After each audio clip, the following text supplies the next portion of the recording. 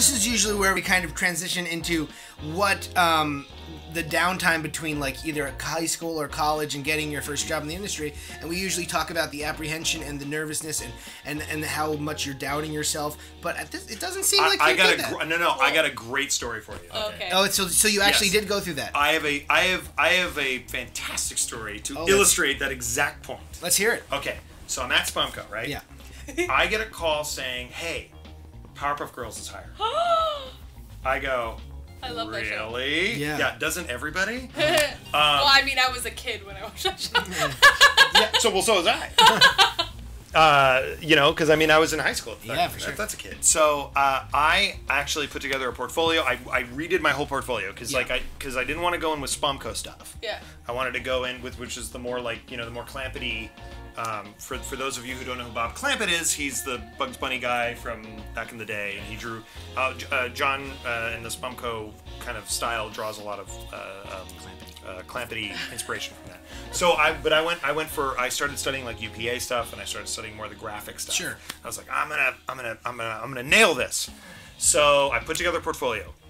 I get an interview with Genndy Tartakovsky Wow. who looks at my portfolio and he goes, "Yeah, you're pretty good. I'll give you a test." He goes, "Turn it in in two weeks." Yeah. I go, "Okay." I did the test. I did a whole storyboard test, and I thought it was really, really, really cool. Yeah. Then it gets down to, all right, now I'm gonna take it in, and I didn't. You didn't wait. You didn't I didn't turn it in. turn it in. I was, I was too, I was too afraid. What? No, no, Wow. you asked for it. Yeah. I was too afraid. So And, you like, were you were nervous about get what Genndy I was say? just I was just so nervous because I was like, well, I almost said to myself, if I don't try, I can't fail. Oh, Wow. Jesus. Right? Yeah, yeah, yeah. No, no, no. This is why this is important. This is important. And I'm, you know, at the time I'm, I'm like 19. Yeah. You know, so I'm still, you know, like again, I mean, I'm not saying that people when they're 19 aren't woke, but like I certainly wasn't, you know.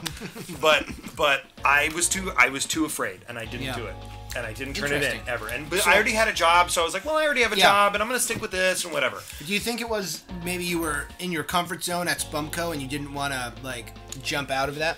Maybe, but I also think you know maybe I didn't think I was ready yet, or I, I mean I don't know. I can't. I like that's that's the problem with that voice. Yeah. Like that voice doesn't come from anywhere. That voice is just what everybody has. Yeah. Which is that voice that says, you know, everything you do isn't good enough. You know what I mean? Like that's Yeah. that's being an That's artist. everyone, Come yeah. on, we all know that voice. We all know that. Yeah. Um, so that being said, so years later, Mm-hmm. Years later, I end up uh, uh, thanks to Eric Pringle. Uh, doing a hand-drawn animation for Foster's Home for Imaginary Friends, which is Craig McCracken's show. Like, Uh, uh, the, also the creator of Powerpuff Girls. So I actually met him in person, and he was like, "Dude, your animation's rad." And I did all these like slow motion scenes yeah. because it was a flash animated show where you do need a certain amount of hand drawn stuff, but Mm-hmm. there's a lot of things you can do digitally to manipulate the characters. But they needed like slow mo slam. It was this whole basketball thing, and they needed all these slow motion slam dunks and camera turnarounds and all this stuff. So I hand drew all that stuff to the point where they, uh, at one point, Eric Pringle's office was completely wallpapered with all the drawings that I had done. No, that's awesome.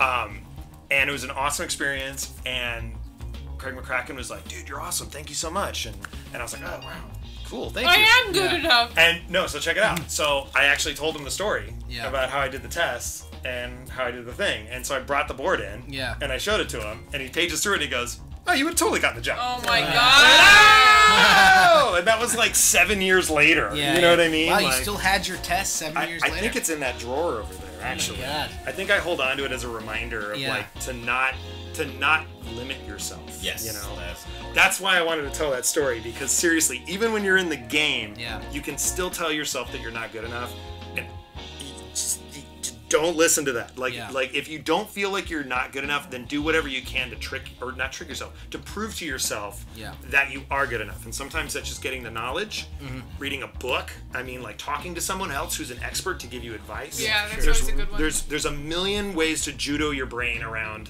that self doubt, and you gotta do it because Yeah. otherwise you will never do anything. Um, but that being said, do I regret it? At this point, no. Yeah. At the time, absolutely. Yeah. Yeah, yeah, oh my sure. god, I bet. You know. So Yeah, that's Had great, man. Yeah. So we got we gotta like clip that out and like make it its own video because Yeah. that's a great story. I have never told that story publicly yet. Oh, yeah? I've told it to friends, but never on any sort of There broadcast. you so you guys are the first. That's the exclusive story. Special. Yeah. I'm But anyway. That's awesome, man. Should I do the intro again, or are we good to go? No. Great. Oh, there we Yeah, go. let's go. So there was an intro, and then there was about 45 seconds to a minute of awkwardness. that will serve as our musical intro today, just us rambling about nothing. Uh, Here we are. and now, here we are.